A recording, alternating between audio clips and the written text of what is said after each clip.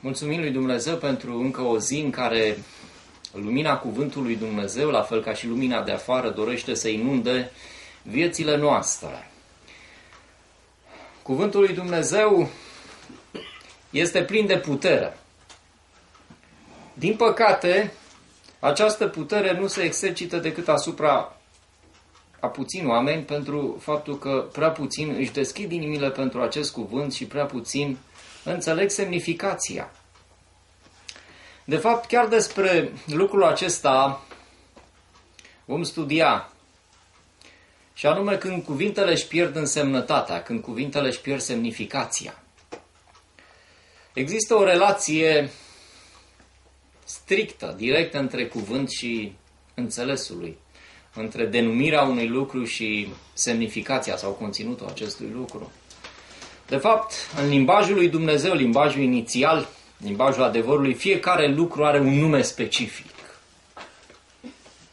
Și anume un cuvânt, un cuvânt care sunt până la urmă niște vibrații, niște, nu, o formă audibilă, care desemnează lucrul respectiv. Fiecare lucru are un nume, are o denumire. Când auzim pronunțat cuvântul respectiv, gândul nostru, mintea noastră se duce la lucrul respectiv. Lucru desemnat de acel cuvânt. Fiecare lucru are un nume specific, un cuvânt care desemnează existența. De asemenea, fiecare cuvânt are un înțeles, are un conținut, înseamnă ceva anume. Un alt lucru diferit are nevoie de un alt cuvânt care să-l desemneze. Așa a fost la început, din păcate astăzi nu mai este așa. Din păcate, relația dintre cuvânt specific și înțeles și conținut s-a pierdut. Citim în Geneza, capitolul 1, versetul 3 și 5, Dumnezeu a zis să fie lumină și a fost lumină. Sigur, versetul acesta are, conține multe bogății. Dar ne vom orienta asupra legăturii dintre nume și conținut. Dumnezeu a zis să fie lumină și a apărut chiar lumină. Nu a apărut altceva. Cuvântul lumină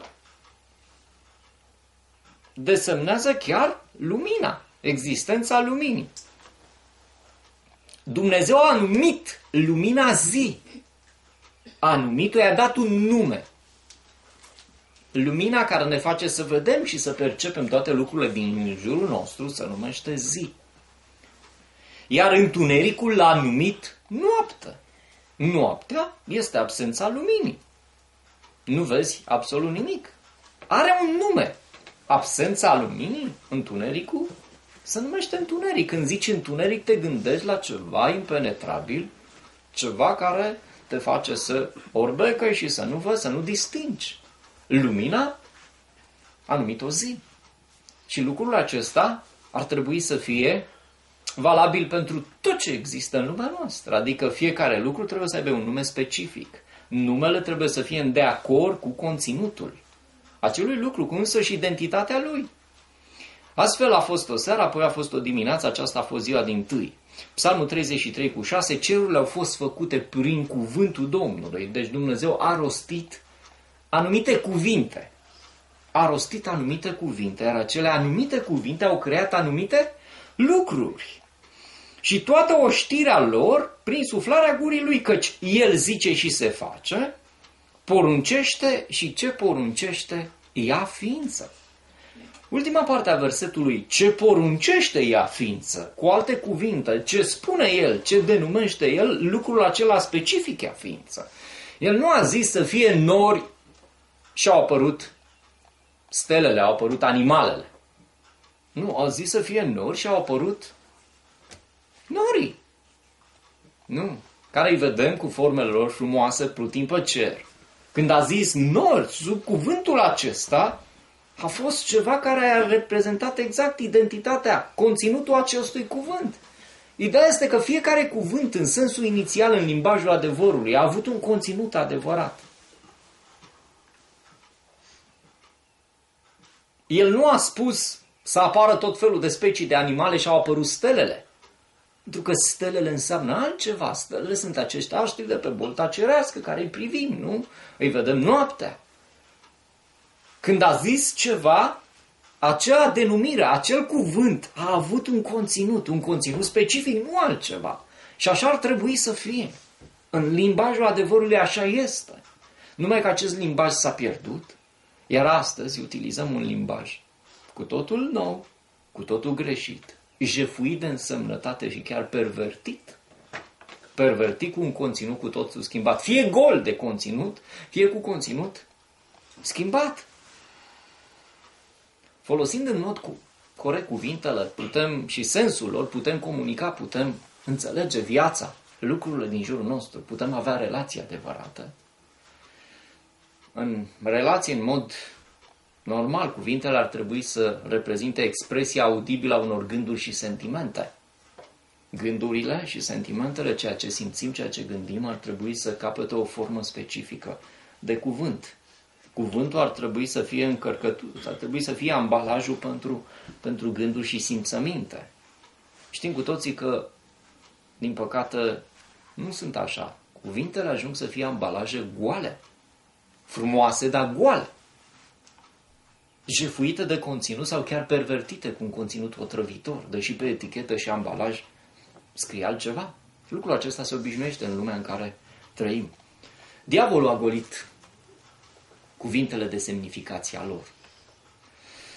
Inițială, de semnificația lor reală, adevărată, ba chiar a dat cu totul alte semnificații cuvintelor, aceasta fiind în esență înșelăciunea, minciuna. El este tatăl minciunii. Ce reprezintă de fapt înșelăciunea, toată lucrarea diavolului care se bazează pe înșelăciune?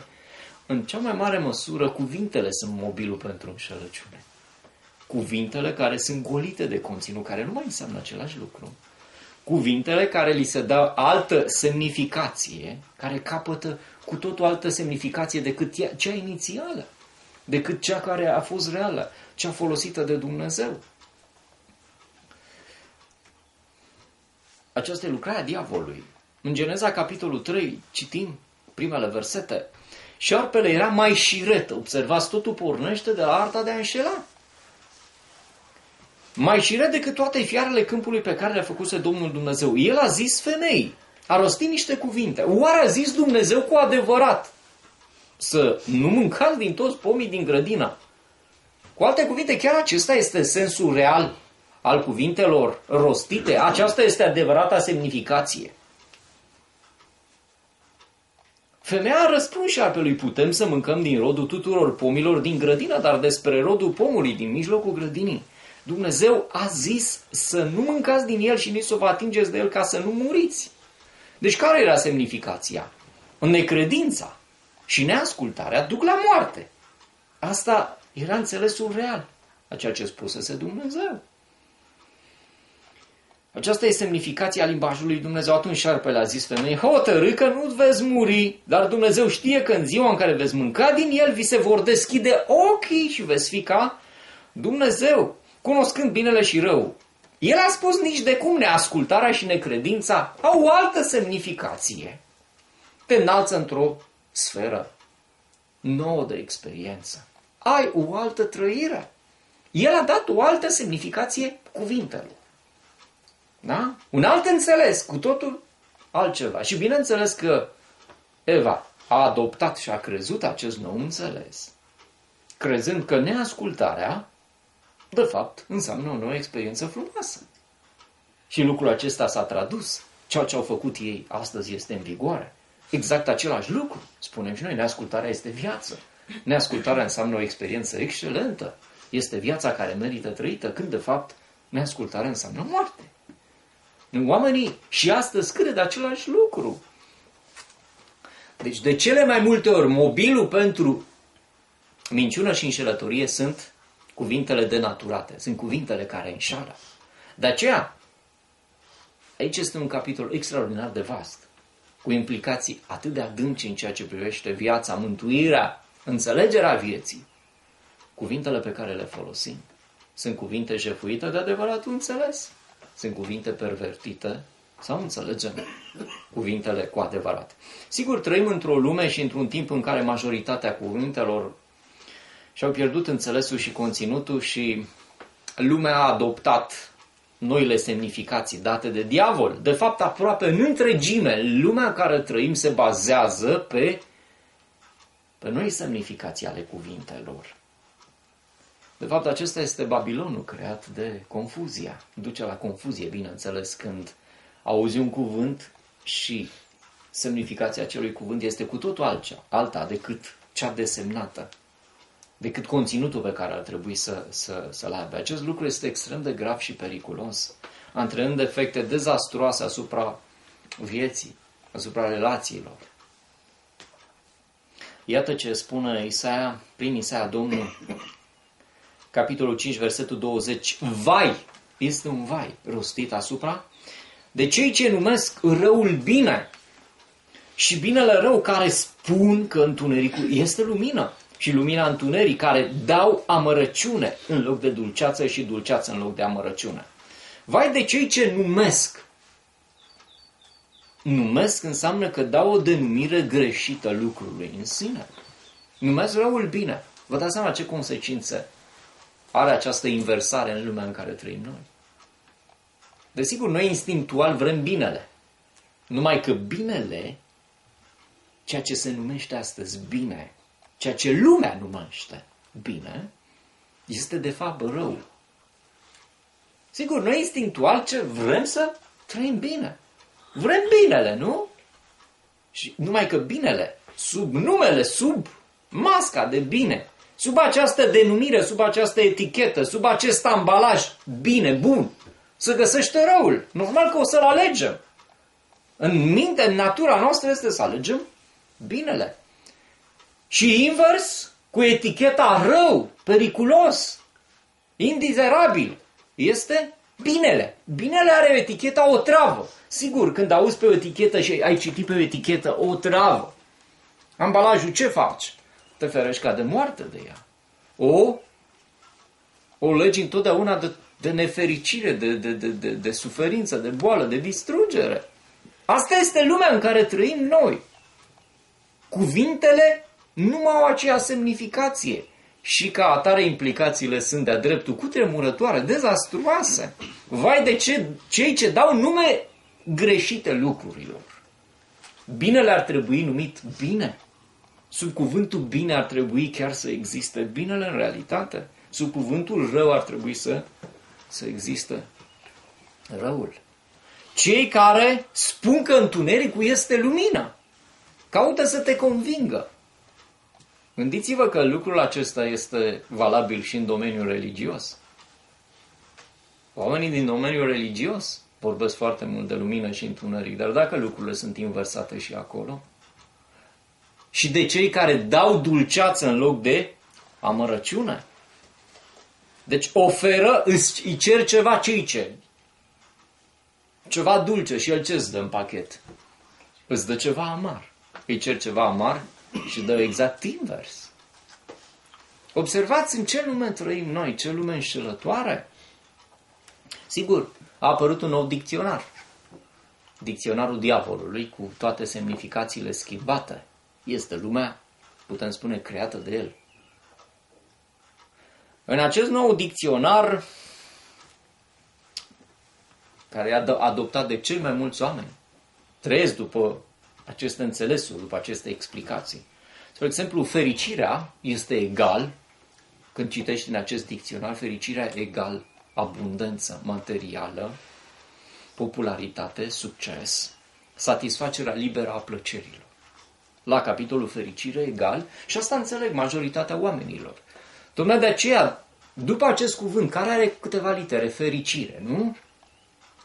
Există un înțeles. Dacă înțelesul e greșit, E același cuvânt folosit de, de mult timp. Dumnezeu l-a folosit, dar l-a folosit cu altă semnificație, semnificația reală. Conținutul real, după cuvântul acesta, era un conținut adevărat care chiar oferea fericirea, care era în esență fericirea. Nu, fericirea egal abundență materială, bani, prosperitate, succes în lumea aceasta, satisfacerea liberă a plăcerilor. Dragostea egal senzualitate, satisfacere egoistă. în cea mai mare măsură, ceea ce astăzi se numește dragoste, se folosește același cuvânt, bineînțeles, cuvintele au rămas. Dar semnificația s-a pierdut, a fost înlocuită. Sunt golite de semnificație și de multe ori chiar schimbată semnificația. Banii reprezintă nu niște hârtii nenorocite și ceva care îi stropun pe oameni cu o mulțime de chinuri și care le aduc dezastru, ci reprezintă marea necesitate a vieții. Fără bani nu poți trăi. Nu fără Dumnezeu nu poți trăi. S-a schimbat semnificația, fără bani nu poți trăi, nu?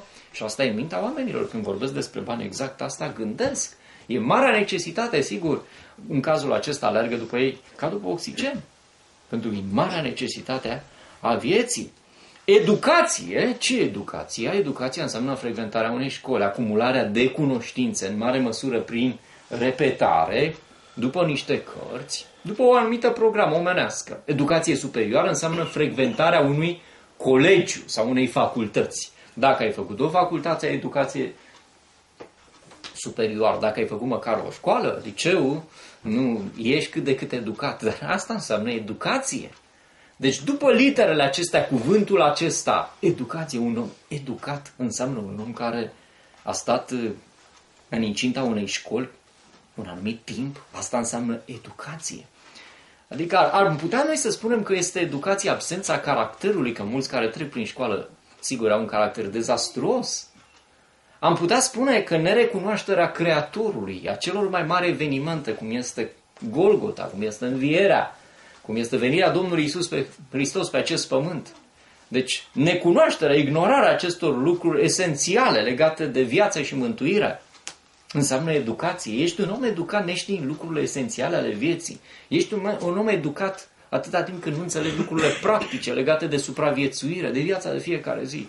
Nici de cum. Și totuși, educația, spune, este educat. Este educat. De ce? Pentru că folosim cuvintele într-un mod cu totul greșit. Succes! Ce înseamnă succes? Nu în înțelesul lui Dumnezeu. Vă reamintesc că studiem câteva cuvinte din noul dicționar. Noul dicționar, dicționarul diabolic. Dicționarul cu înțelesuri greșite. Succes egal înseamnă reușită în afaceri. Când ai reușit în, sau relații eventual, realizare pe plan material sau a relațiilor, a avut succes. Numai că de cele mai multe ori Dumnezeu ceea ce numești tu succes e dezastru. Înseamnă ruină.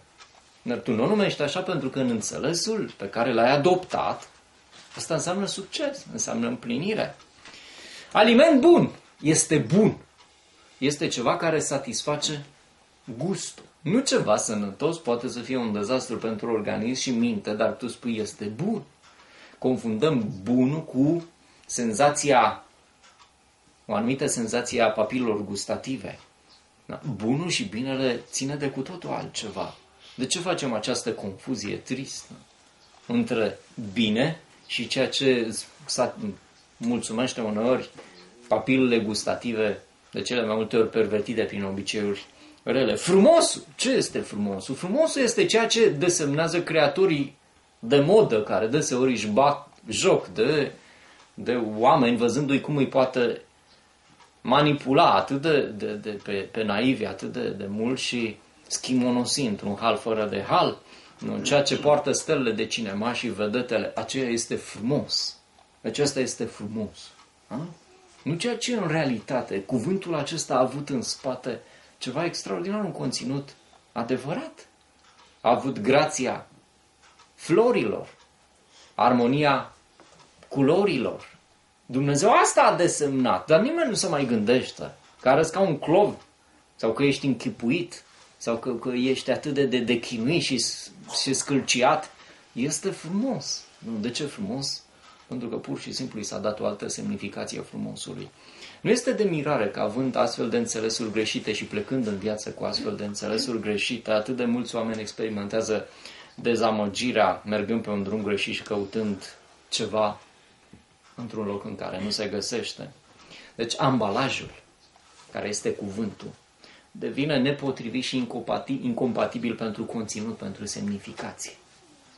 Deci să nu uităm, limbajul este cu totul pervertit După cuvinte care nouă ni se par nobile și bune, se ascund semnificații cu totul greșite, cu totul eronate. Nu numai că majoritatea cuvintelor își pierd semnificația, dar se ajunge să aibă un înțeles cu totul opus. Acesta este cea mai mare înșelăciune. Nu numai să nu mai însemne ceea ce a desemnat la început cuvântul, ci ajunge să însemne exact invers. Ceva care este cu totul în opoziție față de semnificația reală. Luca 16 cu 15 citim Iisus le-a zis, voi căuta să vă arătați neprihăniți înaintea oamenilor, dar Dumnezeu vă cunoaște inimile, pentru că ce este înălțat între oameni este o urăciune înaintea lui Dumnezeu. Iată că lucrurile care sunt lăudate în lumea în care trăim, lucrurile care sunt spuse mari, să spună despre ele că sunt mari, grandioase, Dumnezeu le vede mici, nesemnificative. Lucrurile care spun foarte prețioase sunt fără valoare. Și invers, lucrurile pe care nu dau doi bani oamenii sunt foarte prețioase. Sunt foarte valoroase în concepția lui Dumnezeu, care este adevăratul înțeles, care reprezintă realitatea. Ceea ce se spune că e mic, de fapt, este mare. Și invers. În ce lume înșelătoare trăim? Oare nu, am adoptat și noi foarte multe cuvinte care sunt jefuite de semnificație sau care li s-a dat cu tot o altă semnificație și să nu uităm că ele ne ghidează viața. Aceste înțelegeri, aceste semnificații, pentru că suntem în căutare de ce? De bun, de fericire, de frumos, nu?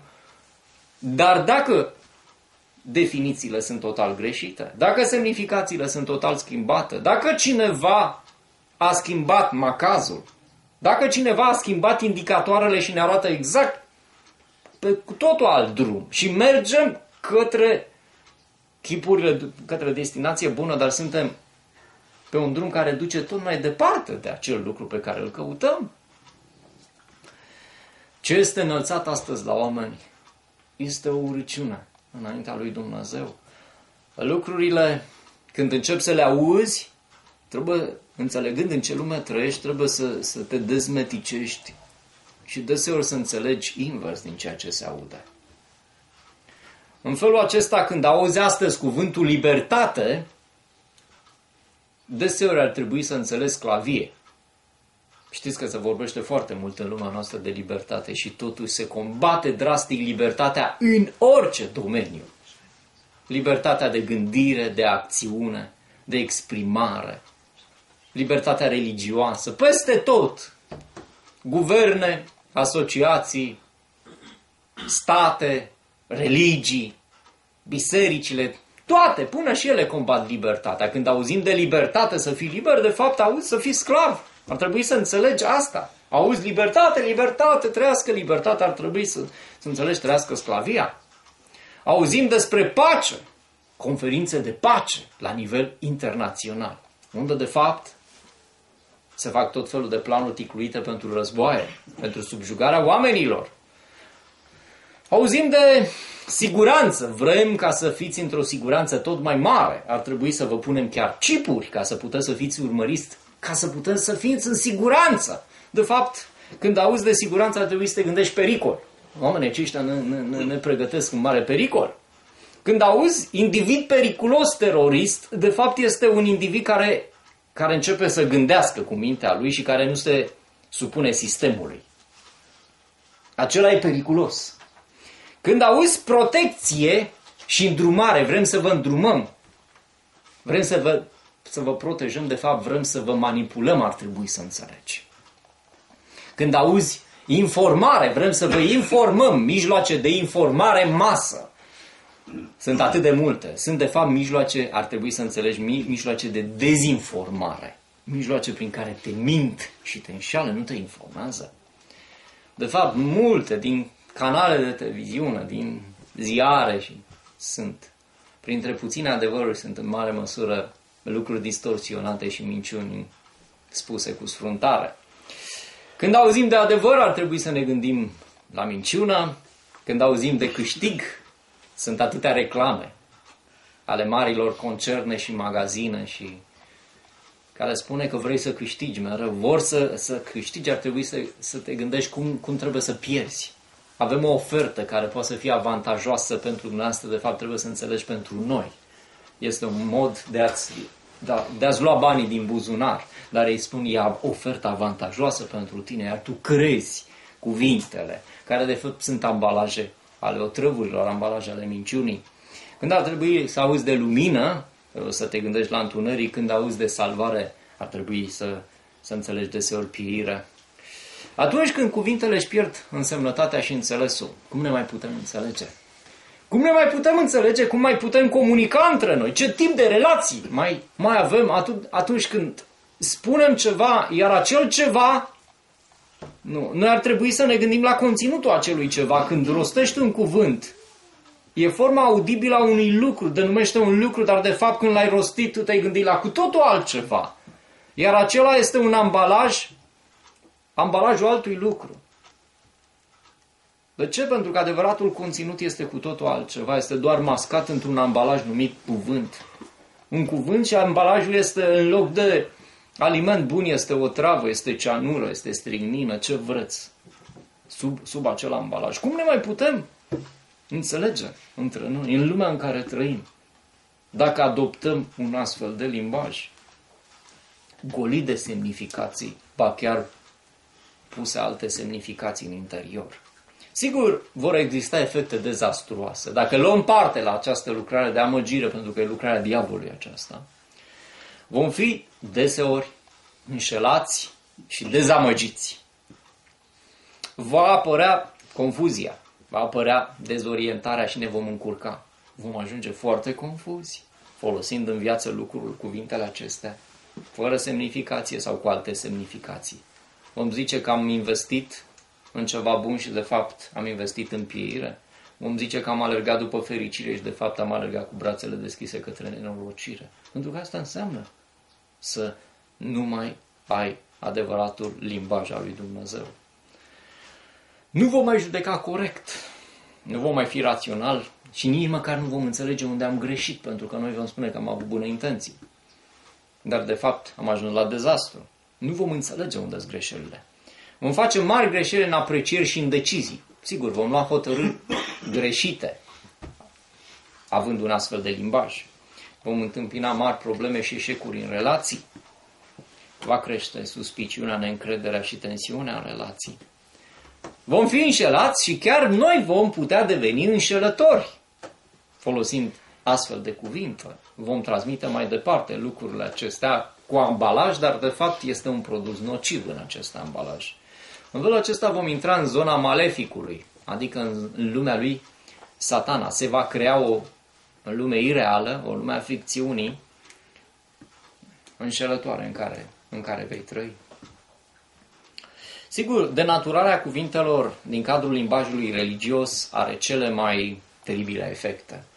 Nici religia nu e scutită, ba din contră. Aici cel mai mult se uzitează cuvinte care sunt golite de fără acoperire, golite de înțeles și de semnificații, ba chiar cu semnificații greșite. Hmm.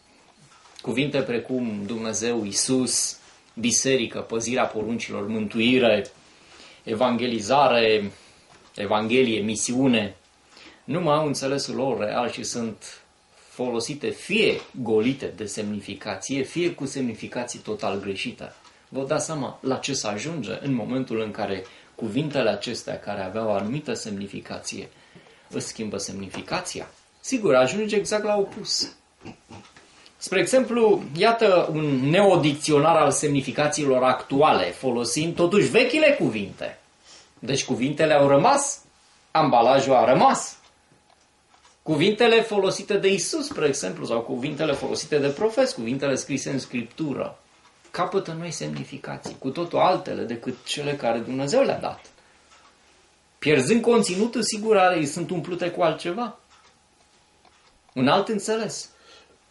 Spre exemplu, Isus, cine este Isus? Ce știu oamenii despre Isus, oamenii religioși? Isus este susținătorul bisericii din care faci parte. Sigur, Isus e cel care conduce fiecare grupare religioasă, chit că sunt una împotriva altora, dar fiecare spune că Isus de care vorbesc ei este Isusul din Biblie și care le susține gruparea lor, nu?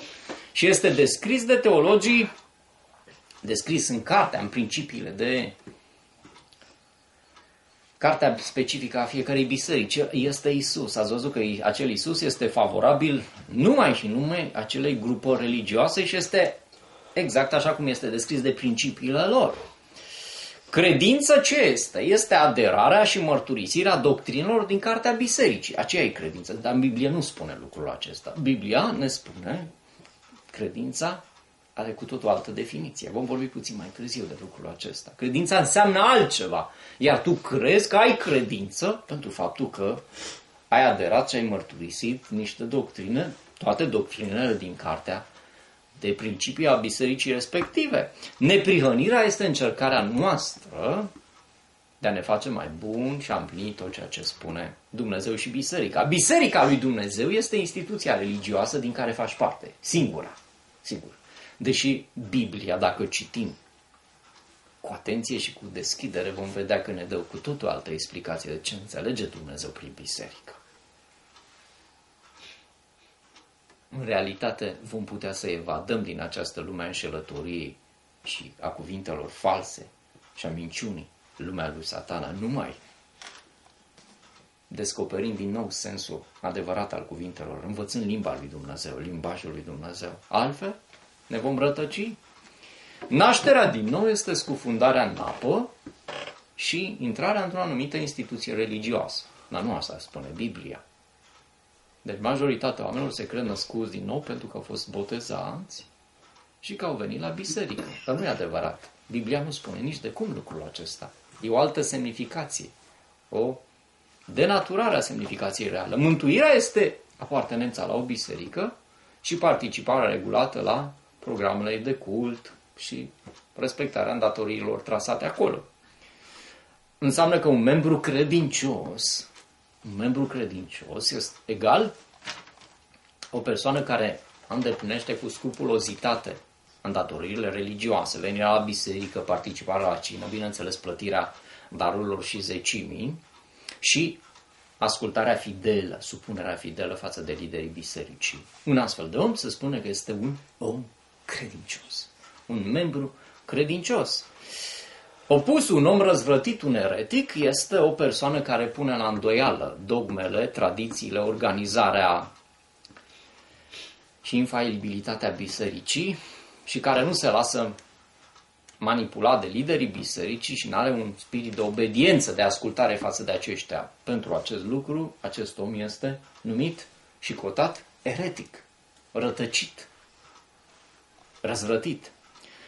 Pierdut sau nemântuit înseamnă dincolo de granițele instituției religioase sau exclus din acea instituție religioasă. De ce? Înăuntru sunt oamenii mântuiți, în afară sunt oamenii pierduți. Dar nu asta spune despre mântuire. Nu spune Biblia despre un om pierdut că asta înseamnă. Nici despre un om mântuit nu spune Biblia că asta înseamnă. Deși asta înțeleg mii, sute de mii de oameni, milioane de oameni, asta înțeleg.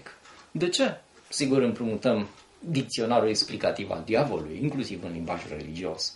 Credeți că termenii religioși nu au suferit și mistificare? Credeți că e singurul domeniu în care diavolul chiar n-a vrut să intre? I-a fost rușine sau n-a avut nicio intenție? Din contră, credem că în lumea religioasă trebuie să fie lumea care să fie cel mai pervertită și cea mai atacată de, de diavolul. Sigur, și semnificațiile s-au, s-au schimbat.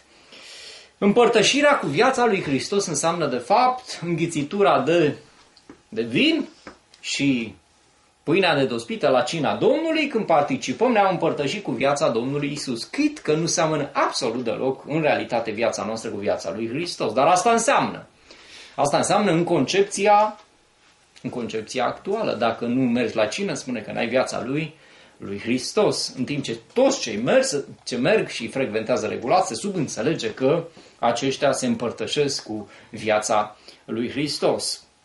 Misiune și evangelizare înseamnă aducerea oamenilor din exterior la organizația din care faci parte și uneori distribuirea de cărți sau alte lucrări care au același scop de a aduce oamenii în interiorul instituției religioase, a grupului religios din care faci parte. Dar nu asta înseamnă nici misiune, nici evangelizare. Nu citim că asta a fost misiunea pe care ne-a dat-o în Dumnezeu.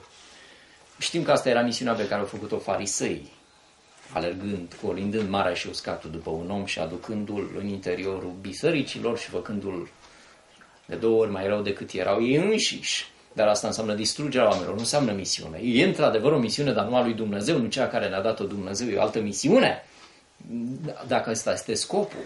Și totuși acesta este scopul. Unii chiar o fac regulat pentru că trebuie să facă lucrul acesta. Daruri spirituale în multe biserici, exaltarea sentimentelor, tot felul de manifestări ciudate sunt darurile Duhului Sfânt.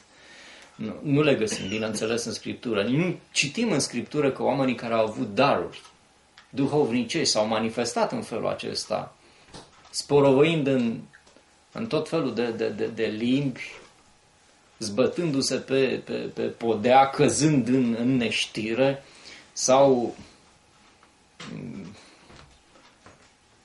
manifestând tot felul de, de, de gesturi ciudate și emoții, emoții exaltate. Postul este o perioadă de timp în care nu mănânci nimic și eventual nu bei apă. Acesta este postul.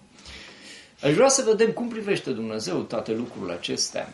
Isaia 58 cu 5. Oare acesta este postul plăcut mie? Să-și chinuiască omul sufletul o zi. Deci asta numești tu ca să rabzi o zi, nu? Să te chinuiești să nu mănânci o zi. La asta s-a gândit Dumnezeu când, când ți-a scris în, în Scriptură de post. Tu asta înțelegi, nu? Asta, cuvântul ăsta pentru tine semnificația asta. Oare? Să-și plece capul ca un pipirig și să se culce pe sac și cenușă. Aceasta numești tu post și zi plăcută Domnului. Deci ai impresia că asta e exact ceea ce mă face fericit, spune Dumnezeu. Asta îmi place mie, să te văd cum nu mănânci 24 de ore și cum nu, și rabzi așa și plăpând acolo și, și, și asta zici, a, ce fericit e Dumnezeu că am ținut o zi de post. Și ai mai trecut acolo, ai mai bifat încă o contribuție, încă o realizare mare. Și Dumnezeu spune, asta numești tu post. Pe după literele acestea patru literi, po, p, o, s, t, eu m-am gândit la cu totul altceva. Vreau să spun că are o altă semnificație, cu totul altă semnificație, că atât de mult doresc să te dedici mie, atât de interesat ești de mine, încât tu să mai mănânci, datorită plăcerii și dorinței exclusive pentru mine. Nu-ți mai trebuie nici mâncare, nu te mai gândești la nimic altceva. La asta m-am gândit când, când am zis de post. Asta înseamnă postul, iar voi ce, ce, ați, ce ați făcut din, din, din cuvântul ăsta? Ce sens i-ați dat? Ce semnificație i-ați oferit? Cu totul schimbată. Isaia 8 cu 12, nu numiți uneltire tot ce numește poporul acesta uneltire. Și nu vă temeți de ce se teme el și nici nu vă speriați. Numea uneltire, Ieremia uneltește. Împotriva noastră. Ilie este cel care ne norocește pe Israel. Ilie ne distruge. Ilie este un împotriva noastră. Și când se întâlnește cu Ahab, tu ești acela care ne norocești pe, pe Israel, cel mai mare nenorocit, cel mai mare distrugător. Era profetul Ilie. Asta se numea. Asta, așa, așa le etichetau. Sub numele acesta se afla de fapt un erou al națiunii, nu un bărbat de credință. Dar asta era numele. Așa numeau ei lucrurile acestea. Ilie a explicat, tu nenorocești. Realitatea că tu nenorocești pe Israel pentru că l-ai uitat pe Dumnezeu și te-ai dus după Baal. Deseori cei care au numit eretici pe ceilalți au alungat, de fapt ei erau mari eretici. Ei duceau poporul în apostazie, asta s-a întâmplat în toate timpurile și astăzi. Cei care îi judecă să suie pe scaunul de judecători și exclud. Oameni care nu, doar studiază și caută mai mult din adevăr și vor să, să se trezească și să, să înțeleagă mai bine viața și să aibă o relație cu Dumnezeu, de fapt oamenii aceia sunt mari distrugători ai credincioșilor. Sunt cei care îi prigonesc pe cei credincioși. Marcu 11 cu 17. Iisus îi învăța și zicea, oare nu este scris casa mea se va numi, se va chema o casă de rugăciune pentru toate neamurile? Sigur a rămas templul Domnului sau și astăzi se păstrează casă de rugăciune, nu scrie pe etichete acolo.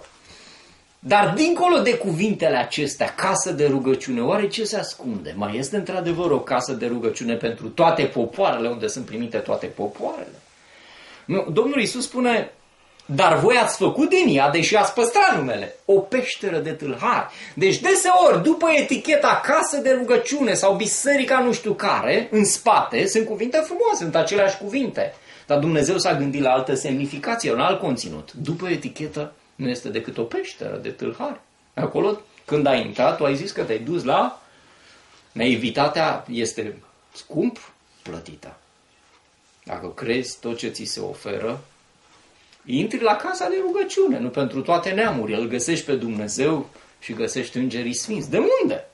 De unde acolo găsești peșteră întunecoasă, tâlharii te roage de tâlhari, te așteaptă la colțuri. Numai să miști și să faci ceva și ești distrus. Asta a spus Domnul Isus că au golit, au schimbat semnificația. Asta a făcut să poporul Israel. De ce n-ar face și alte grupări religioase? A, doar ei au făcut. Diavolul doar cu ei a lucrat. În timpul din urmă nu mai lucrează, nu? De ce nu, am, nu ar putea și Biserica Adventistă să facă același lucru? Ellen White spune că repetă atât de bine istoria. De ce n-am crede lucrul acesta? Dar chiar asta se întâmplă. De ce și alte grupări religioase? Fiecare dintre noi suntem expuși la așa ceva în momentul când denaturăm cuvintele, când le jefuim de conținutul lor, când le schimbăm semnificațiile. E cu adevărat o casă de rugăciune, e o, o, o cale către Dumnezeu. Sau devine orice biserică o afacere? Sau devine o instituție care funcționează piramidal și o instituție care funcționează ca orice altă instituție, bazată doar pe bani, pe profit, pe câștig și manipulare. Sigur, orice instituție funcționează pe așa ceva. Au să vă dea afară din sinagogi, spunea Domnul Isus profetic Ioan 16 cu 2. Ba încă va veni vremea când oricine vă va ucide să creadă că aduce o slujbă lui Dumnezeu. Auziți? te va da afară și va zice, vai ce, ce reformator sunt. Noi ținem la pietrele de hotar, noi vrem ca biserica să nu se mânjească cu toți ereticii. Va veni vremea când te va omorâ și va spune, acum chiar că am adus cea mai înaltă slujbă lui Dumnezeu. Nu, asta este o slujbă care se aduce lui Dumnezeu. Deci vă dați seama cât de schimbate vor fi înțelesurile. Oamenii se vor felicita când vor face cel mai mare dezastru, când vor omorâ pe eroii de credință, pe oamenii adevărați al lui Dumnezeu, ei se vor felicita, vor fi convinși că Dumnezeu le surâde, că Dumnezeu atunci chiar îi apreciază. Cât de amăgit poți să ajungi? Ce semnificații greșite poți să dai slujbei lui Dumnezeu? Vă dați seama cât de departe de definiția adevărată, de conținutul adevărat, de semnificația reală ajung cuvintele. Și vorbim de mediul religios, care e infectat cu definiții false, care e infectat cu, cu ambalaje care sunt denumiri goale, dar în spate sunt tot felul de poțiuni amețitoare, nu? Vinul Babilonului, care se vinde cu eticheta adevărului Dumnezeu. Singura biserică, singurii care au tot adevărul. Dar în spate ce este? În spate de cele mai multe ori o opoziție față de un adevăr simplu și clar în Scriptură, care țipă în ochi atât de clar. Spune că e unul și tu spui că străi. Spune că e un singur Dumnezeu, tu spui că e o trinitate, nu? Și a urmă încerci să filozofești și să, și să sucesi zeci și zeci de versete clare din Biblie și toată lumea spune că dacă cineva vine și spune, da, eu cred într-un singur Dumnezeu, că așa spune aici, ești un eretic, ești un amăgit, adică un eretic e unul care s-a rătăcit de la calea cea dreaptă a Bibliei. Ce timpuri trăim? În ce lume trăim? ar trebui să ne, să ne zguduim. Majoritatea cuvintelor folosite în cadrul religios nu mai au înțelesul real. Sunt folosite fără acoperire, golite de sensul real, utilizate într-o manieră înșelătoare. Se folosesc și foarte multe cuvinte formulă care au asupra multora un efect magic și înșelător. Domnul Isus spunea că va, vor fi folosite cuvintele pentru amăgire în limbajul religios. Matei 24 cu 4 un verset specific pentru timpul din urmă. Drept răspuns, Iisus le-a zis, băgați de seamă să nu vă înșele cineva, fiindcă vor veni mulți în numele meu și vor zice, eu sunt Hristosul și vor înșela pe mulți. Adică credem că dacă spunem în numele lui Isus Hristos, când auzim formula asta, gata, cu o sfântă naivitate, tot zicem, e de la Dumnezeu. E puterea lui Dumnezeu aici. N-ai văzut că a, a spus în numele în numele lui Hristos, nu? Domnul Iisus ne-a spus că vor folosi ambalaje de genul acesta. Mulți vor veni, mulți cu tendința să înșele, nu? Și vor folosi formulele magice. De ce? Păi când auzim, parcă auzim cuvintele acelea, nu? Mântuire, Evanghelia, Sfânta Evanghelie, Dumnezeu, Sfânta Biserică. Și auzi și când acolo deja tu, ăștia fac parte din Biblie, le legi imediat de sacralitate. Ca și când cuvintele, doar ambalajul e totul. Dar dincolo, dar dincolo, sigur, conținutul poate să fie otrăvitor, nu, înțele- nu interesează aproape pe nimeni. Stai un pic, dar dincolo de cuvintele astea, de ambalajul ăsta frumos, ce este? Chiar are semnificația asta? Chiar are semnificația. Oamenii aceștia chiar asta fac. Biserica aceasta, grupul acesta chiar iubește adevărul, are deschidere pentru adevăr, cercetează, renunță la, la erori atunci când descoperă un adevăr, sunt dispuși să vadă lucrurile clare ale lui Dumnezeu. Sunt dispuși pentru schimbarea vieții, a caracterului. Oamenii aceștia promovează chiar cu adevărat binele sau îl stopează deseori. În realitate, dincolo că noi suntem mesagerii lui Dumnezeu, noi suntem cu Dumnezeu, vrem binele, noi suntem exponenții lui Dumnezeu și așa mai departe. Ăștia sunt etichete, sunt cuvinte. În spate poate să, însemn, poate să fie înșelăciunea într-un mod barbar. Dar oamenii naivi aud un cuvânt și zice, da, dacă e Sfânta Conferință, dacă e Sfânta Biserică, dacă vine de la frații de sus, unde găsești în Biblie? Adică o etichetă, dacă ajunge într-o anumită poziție, deja asta îi permite să facă orice, nu numele acela. Dacă are numele și eticheta, sigur, poate să facă orice, poate să zică orice. Sigur, sub numele acela se poate face orice, chiar inversul decât ceea ce spune Biblia. Nu este așa. Și toți aceia care vor înghiți lucrurile acestea, toți care vor utiliza limbajul acesta fals, vor fi înșelați, vor intra într-o lume malefică, nu se vor mai înțelege, nici pe ei înșiși nu vor mai înțelege, oamenii nu vor mai înțelege lucrurile, nu vor mai ști încotro să meargă o confuzie totală, rodul înghițirii și, și săturării cu vinul Babilonului. Cuvintele Bibliei devin paravane după care se ascunde diavolul și agenții lui. Chiar cuvintele Bibliei pot fi golite de conținutul lor sau mistificat adevăratul lor înțeles. Nu de puține ori auzim în prădici cuvinte goale, fără acoperire, ba chiar și în rugăciuni. Nu? Doamne, ne predăm în totul, vrem să fim mai tăi. Iar când ai plecat și te confrunți cu prima decizie, de fapt arăți că nu vrei nimic să faci. Dar le folosim formulele acestea, sună atât de frumos. Și știți ce efect au? În primul rând au efect asupra noastră, că ne înșală. Auto-înșelare. Înșelați de propriile cuvinte. Rostim niște cuvinte și ajungem să credem, fără semnificație. Sau chiar cu o semnificație total opusă. În realitate, când spui ne predăm, tu nu vrei să te predai. Tu ești în opoziție cu Dumnezeu în lucruri foarte clare, dar folosești cuvintele, folosești formulele. Ei bine, ele ajung să te convingă, chiar propriile cuvinte, că tu chiar vrei să te predai, că chiar ești cu Dumnezeu, că ești al lui Dumnezeu. De ce? Pentru că folosești cuvinte denaturate. Cuvinte golite de înțelesul lor care și-au pierdut semnificația. De aceea ar trebui să fim foarte atenți când deschidem gura. Și când ai spus un cuvânt, gândește-te, are chiar semnificația aceasta. Sigur, să se facă voia ta, cum în cer și pe pământ. E formula, că doar e rugăciunea Tatăl nostru. Nu știți cum să face voia lui Dumnezeu în cer. Dumnezeu zice și se face. E o ascultare de plină, bazată pe iubire și încredere de plină în Dumnezeu. Apoi cântăm imnuri cântate, mai depres ca argintul sau ca aurul curat, este să-ți aud cuvântul care m-a eliberat e mai de preț decât toate comorile de pe pământul acesta. Nu dau doi bani pe comorile acestea cât vreau să, să-ți aud cuvântul. Să caut cuvântul tău și tu nu ai timp nici să citești. Tu nu dai doi bani pe, pe cuvântul lui Dumnezeu, nu? Sau refrenul, tu mi-e singura dorință, tu îmi saturi inima. Singura dorință. Chiar s-a ajuns viața ta să rezume la o singură dorință. Pe... Nu mai e nicio altă dorință, nu mai vrei nimic altceva decât pe Isus îl vrei. Atât de îndrăgostit și, și, și absorbit ești de persoana sa, încât nu mai vrei altceva, da? Și ajungem să, spun, să cântăm lucrul acesta și să credem, bineînțeles. Sau Isus e mai de preț decât bogății sau onoruri lumești. Tu care îți dai ghez nu știi cum să ieși în față, nu? Nu știi cum să ajungi o persoană importantă, văzută sau cum să câștigi mai mult. Și cântăm, într-o veselie cântăm cuvinte dezgolite. Cuvinte. Ar trebui să le folosim. Ar trebui făcută o reformă, ar trebui să ne punem mâna la gură și câteva zile să nu mai scoatem un sunet și să ne rugăm doar în gând, Doamne, ajută-mă să, să pot să reînvăț ABC-ul. Încep cu primele cuvinte, cum scot un sunet din gură, cuvântul ăsta ce înțeles are în realitate.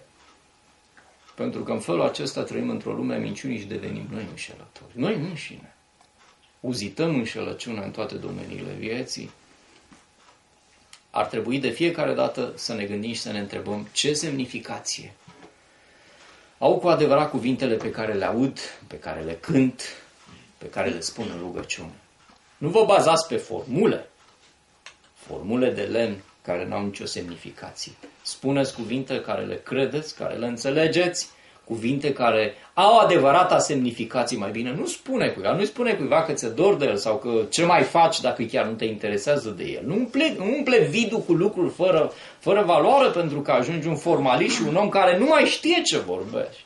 Și bineînțeles, intri într-o lume maleficului, lumea lui satana în felul acesta. Nu spune mă predau dacă ai încă dubii, spun, roagă Doamne ajută-mă ca să pot să ajung să mă predau. Ar fi mai corect lucrul acesta. Vrem să fim mai tăi cu totul, vrem să nu, să facem lucrarea ta când nu cauți nicio ocazie ca să lucrezi pentru el, când nu vrei să te dedici. Ce rost au vorbele acestea? Oricum Dumnezeu le înțelege adevărata semnificație pentru că îți citește inima, nu ascultă doar cuvinte. El îți vede viața. Dumnezeu dorește să înțelegem adevărata semnificație a lucrurilor și să nu folosim cuvinte golite și sărăcite de sens sau și mai mult mistificate. Cuvintele trebuie să aibă adevărata semnificație. Dacă nu avem acoperire, nu trebuie să le folosim cuvintele. Iată disputa lui Dumnezeu cu poporul Israel pe vremuri prin profetul Isaia a transmis o solie în capitolul 1 zguduitoare, versetul 11 până la 17. Ce-mi trebuie mie mulțimea jerfelor voastre, spune Domnul? Dumnezeu îi spune, nu am nevoie de lucrurile acestea, înțelegeți? Nu vi le-am dat pentru că am nevoie de ele. A, voi înțelegeți că eu am nevoie, mie îmi trebuie jertfe tot mai multe. Asta înțelegeți voi, nu? Probabil poporul, confuz cum era, beat de atâtea tradiții și înțelegeri omenești greșite de mistificări și de naturări, căscau ochii, se holbau la Isaia și, bineînțeles, până la urmă, l-au și adus la tăcere. Ce vrea să spună nebunul ăsta? Nu ne-a zis Dumnezeu să aducem jerfe. Iar prin Isaia Domnul le spunea, ce-mi trebuie mie? Jerfele voastre. Sunt sătul de arderile de tot ale berbecilor și de grăsimea vițeilor. Nu-mi place sângele taurilor, oilor și țapilor. Păi cum ne-ai zis tu sânge, să curgă sânge, sânge? Și acum spui că nu-ți place, că nu vrei, că e sătul, că ești dezgustat de așa ceva? Când veniți să vă înfățișați înaintea mea, cine vă cere astfel de lucruri ca să-mi spurcați curțile? Chiar că au rămas. Parcă-i văd. Cum ar veni? Parcă-i văd ce ochi au făcut și ce, ce, ce figură panicată și în același timp înrăită. Ca și când astăzi te duce și spune, cine vă cere să cântați când n-aveți de cântat nimic? Cine vă cere doar să, să, să aiurați în sunetul arfei și să ridicați glasurile când n-aveți în inimă laudă pentru Dumnezeu? Cine vă cere să vă plecați pe, rugă, pe, pe genunchi și să faceți rugăciune când în inima voastră nu simțiți nicio nevoie reală după mine? Și de ce spuneți mulțumesc când n-ai pic de recunoștință în inimă? V-am cerut eu așa ceva? Stați oameni buni în picioare, stați acasă, nu spuneți măcar nimic și sunteți mai bine în fața mea. Nu v-am cerut eu lucrurile acestea. Eu v-am dat lucrurile acestea, dar cu o altă semnificație. Spune mai departe, nu mai aduceți daruri de mâncare nefolositoare. Și cum noi, noi credem că dacă îi dăm lui Dumnezeu mai mult, am dat și eu ceva pentru lucrare. Am dat și eu ceva pentru lucrare, nu? Și pleci satisfăcut și Dumnezeu spune, nefolositor ce ai făcut. Ai făcut? Eu nu ți-am cerut asta, nu am nevoie de banii tăi nevoie de inima ta, o inimă care să fie miloasă, compătimitoare, o inimă deschisă pentru nevoile celorlalți. Tu crezi că dacă arunci niște bani, asta îmi trebuie mie, ai, ai impresia că banii ăștia ajung la mine. Cumva că eu trăiesc cu bani, cu nenorocitele de hârtii sau de monezi. Mi-e scârbă de tămâie. Cum, Doamne, n-ai zis tu tămâie să, să înalțe tămâie și să fie de o anumită calitate, n-are oricine voie să o facă. Așa scria în Vechiul Testament în Exodul. Nu, n-ai zis tu asta tămâie. Nu, tămâie am spus că dacă înțelegeți că este mirosul parfumat al meritelor lui Hristos, este parfumul jertfei lui Hristos, dacă înțelegi că doar prin el orice serviciu devine binecuvântat. Că nu poți să aduci nimic bun fără Mântuitorul. Dacă nu înțelegi așa ceva, aruncă încolo, dă tămâie, că nu, nu, o folosește eventual în scopuri terapeutice, dar nu, nu în fața mea. Nu vreau luni noi, nu vreau sabate, adunări de sărbătoare. Ce sărbătoare? Sărbătoarea a fost întotdeauna unită cu ce? A fost unită cu, cu împărtășirea cu Dumnezeu, cu bucuria de a fi una cu Dumnezeu, dar erau tot mai separați de Dumnezeu și sărbătoreau. Sabat și sărbătoare, cu trâmbițe, cu strigăte, cu, cu corul mari și erau separați de Dumnezeu și să sărbătorea lucrul acesta într-o veselie. Și Dumnezeu a zis, sărbătoriți că sunteți departe de mine, nu tot mai reci, tot mai distanți și ținem sărbătoare. Nu vă dați seama că ăștia nu au sens? Sunteți tot mai robiți de păcat și vreți să vorbiți de sabat, ziceți că ține sabatul, că sabatul înseamnă odihnă, asta v-am cerut eu, asta înseamnă denumirile astea, cuvintele astea și au pierdut semnificația. Opriți-vă de aceea le-a spus. Opriți-vă să mai faceți așa ceva. Spălați-vă și, deci, și curățiți-vă. Luați dinaintea ochilor mei faptele rele pe care le-ați făcut. Încetați să mai faceți răul. Învățați să faceți binele. Căutați dreptatea, ocrotiți pe cel asuprit, faceți dreptate orfanului, apărați pe văduvă. Sigur, atunci și numai atunci, toate ceremoniile, toate lucrurile acestea capătă sens. Sărbătorile, sabatul, venirea la templu, adunarea, cântarea de laude, atunci are sens. Și atunci mă bucur, pentru că asta m-am gândit când am, când am spus de sabat, la asta m-am gândit când am spus la venirea la templu, la asta când m-am gândit când am spus de jerfe. Și așa mai departe, atunci au sens și capătă frumusețe. Până atunci au pierdut semnificația. Sunt goale, după ele se ascunde urăciunea. Opriți-vă că nu, nu ăsta e sensul. sensul. Sigur, prea puțin au înțeles lucrul acesta. Pe Isaia l-au omorât pentru că Isaia a fost nenorocitul care distrugea pe Israel. Spunea că poporul Domnului e, auzi, poporul Domnului este căzut, poporul Domnului e în starea asta. Ăștia sunt eretici care vorbesc de biserică, așa este. Nu așa este că cei care vorbesc că biserica nu este infailibilă și e posibil să greșească, ăștia trebuie nici să n-ai de vorb, de vorbă cu ei. Să-i vânezi și să nu le deschizi ușa la ăștia. Ce înțelegeri greșite, cum am ajuns să prigonim pe cel bun și să lăudăm pe cel rău? De câte ori s-a făcut lucrul acesta, această tristă confuzie? Prin Domnul Isus, Dumnezeu vrea să restaureze totul tot ce a fost schimbat, tot ce a fost dărâmat, tot ce a fost distrus. Prin Domnul Isus vrea să ne învețe, asta a fost misiunea lui, să ne învețe din nou tot ceea ce am pierdut, să ne învețe limbajul adevărului, pentru că El era adevăratul cuvânt. Citim în Ioan, capitolul 1, versetul 14, și cuvântul s-a făcut trup. În sfârșit am, avut, am, am putut să vedem în același timp cuvânt și semnificație. Ambalaj și, și interior și viață, semnificație și înțeles.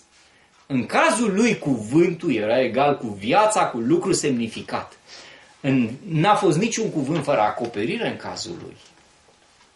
El n-a vorbit doar despre lege, a fost legea împlinită, legea în acțiune. Și cuvântul s-a făcut trup și a locuit printre noi. Până acum, știți, cuvintele sunt cuvinte, dar în cazul lui a fost un cuvânt întrupat. Ai putut să vezi și cuvântul, ai putut să vezi trupul cuvântului, conținutul cuvântului. Pentru ca să înțelegem din nou limbajul lui Dumnezeu. Pentru asta a venit. Și noi am văzut, am privit slava lui. Slava adevăratului cuvânt. Ele nu ai spune în Hristos Lumina Lumii, pagina 20, venind să locuiască aici cu noi, Iisus avea să-L descopere pe Dumnezeu atât oamenilor cât și îngerilor. El era cuvântul lui Dumnezeu, gândul lui Dumnezeu făcut auzibil, audibil, făcut să se audă. El era cuvântul lui Dumnezeu care ce altceva? Este gândul lui Dumnezeu făcut auzit. Pentru că ăștia sunt cuvintele. Cuvintele au fost gândurile lui Dumnezeu, asta a fost limbajul la început. Sigur, cea mai importantă limbă nu este nici engleza, care capătă teren și ajunge să fie limba de, de folosință în, în întreaga lume. Nici o altă limbă. Este limba adevărului, este limbajul lui Dumnezeu. Avem nevoie să reînvățăm sensul cuvintelor. Este necesar să începem cu ABC-ul lui Dumnezeu. Isus este ABC-ul lui Dumnezeu. Fiecare cuvânt trebuie reevaluat. Știu eu o sarcină grea și înseamnă ca să-ți repui viața în ordine și înseamnă să începi de la zero. Fiecare cuvânt trebuie reevaluat. Cuvântul acesta oare ce înțeles real are? Învățăm ca și copiii. De unde să învățăm, sigur, din dicționarul explicativ al lui Dumnezeu, din Scriptură. Asta nu înseamnă că deja o cunoaștem. E cel mai greu pentru religios să reînvețe sensul fiecarei noțiuni, fiecărui cuvânt din, uh, din Scriptură. De ce? Pentru că au impresia că știu, dar cele mai multe lucruri pe care le știu, le știu deformate. Tocmai că trebuie să renunțe la vechile sensuri, la vechile semnificații și să învețe ce scrie aici cu adevărat, ce, ce înțelege Dumnezeu.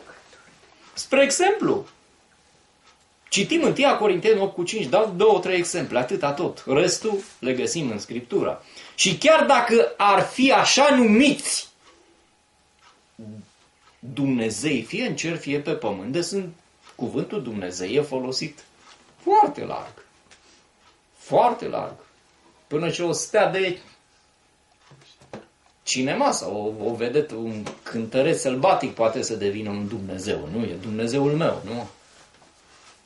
E folosit, dar Dumnezeu când a folosit acest cuvânt, în limbajul adevărului a avut un sens, înalt un sens clar, o acoperire. Și chiar dacă ar fi așa numiți Dumnezei, fie în cer, fie pe pământ, cum și sunt într-adevăr mulți Dumnezei în ghilimele și mulți domni, așa sunt numiți, totuși pentru noi nu este decât un singur Dumnezeu, două puncte, Tatăl. Și ar trebui să-ți reevaluezi definiția. Aceasta e prima definiție.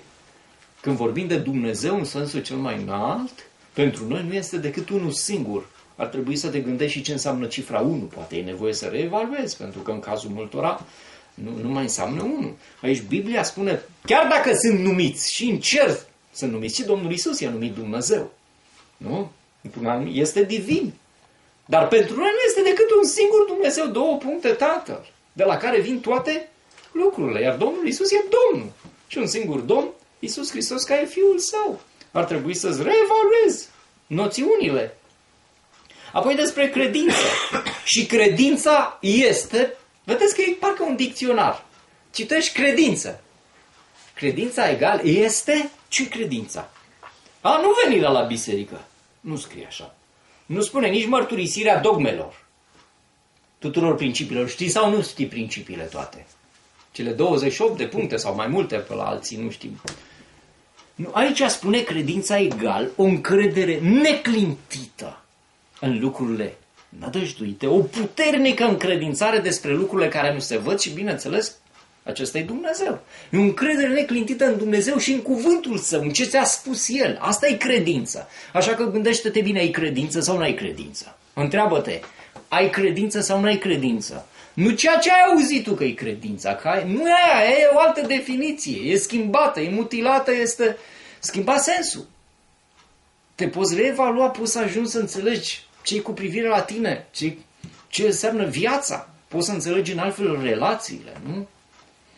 Apoi, Proverbe 16 cu 20, cine cugetă la cuvântul Domnului găsește fericirea. Deci o găsește. Și cine se încrede în Domnul, adică în cuvântul său, este fericit. Este definiția aici despre cum poți găsi fericirea și cum poți fi fericit. Cine se încrede Domnul este fericit. A, nu este o acumulare de, de mijloace materiale ca să fii fericit. Nu, nu scrie asta. Nu, nu înseamnă nici nu știu ce poziții înalte în societate, nu? Absența necazurilor, nu, pentru că Iacov 5 cu 11, iată, noi numim fericiți pe cei ce au răbdat. Ați auzit vorbindu-se despre răbdarea lui Iov și ați văzut ce sfârșit i-a dat Domnul și cum Domnul este plin de milă și de îndurare. Și cei care trec prin mari necazuri asemenea lui Iov, dar au trecut cu bine, au răbdat, ce că sunt fericiți. Asta e definiția fericirii din Scriptură, să știți. Nu aia ce o știm noi. Aia ne-a târât pe drumuri greșite. ne-a târât pe drumuri greșite către un, un ceva care nu se găsește acolo. Fericirea este cine se încrede în Domnul este fericit. Asta e definiția Bibliei. Dacă vrei să intri în lumea reală și să recapeți limbajul adevărului. Pentru că celălalt e un limbaj denaturat, o limbă mistificată, e un Babel, un Babilon. Și de acolo trebuie să ieșim dacă vrem să avem o traiectorie bună. De aceea nu mai trebuie să folosim cuvinte golite de conținut. Nici cuvinte denaturate, cuvinte care și-au pierdut adevărata însemnătate. Pentru că intrăm în lumea, astfel intrăm în lumea malefică, în șelăciunii, în nebulozitate și nu mai avem puncte de reper clare. Dumnezeu promite, și închei cu acest verset, de fapt voi citi trei versete, sunt promisiunile Isaia 32 cu 3, ochii celor ce văd nu vor mai fi legați și urechile celor ce aud vor lua aminte. Inima celor ușurati își va pricepe și va înțelege și limba gângavilor va vorbi iute și deslușit. Nebunul nu se va mai numi ales la suflet. Nici Mișelul nu se va mai numi cu inimă largă. Noi zicem că suntem aleși la suflet, nu? Și, de fapt, în realitate, am înnebunit. Mișeii ajung să fie oameni darnici, nu? Deseori, așa e trecută mișelie. Atât de mult suntem înșelați. Nu se va mai numi. De ce fiecare lucru se va numi cu numele lui adevărat? Aici sunt promisiuni pentru cei care vor fi restaurați.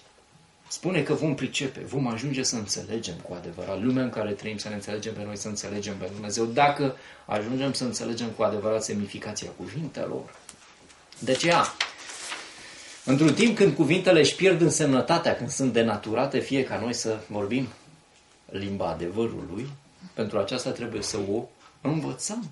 Și fiecare cuvânt să aibă acoperire, să aibă adevăratul înțeles, să aibă adevăratul conținut, pentru că așa vrea Dumnezeu.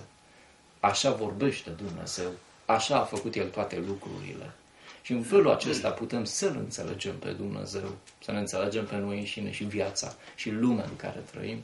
Altfel, intrăm într-o sferă a întunericului. Dumnezeu să ne vintece și să luăm zilnic lecții de restaurare, de a învăța limba cerului. Mulțumim pentru toate. Fie lăudați și binecuvântat El. Amin. Amin.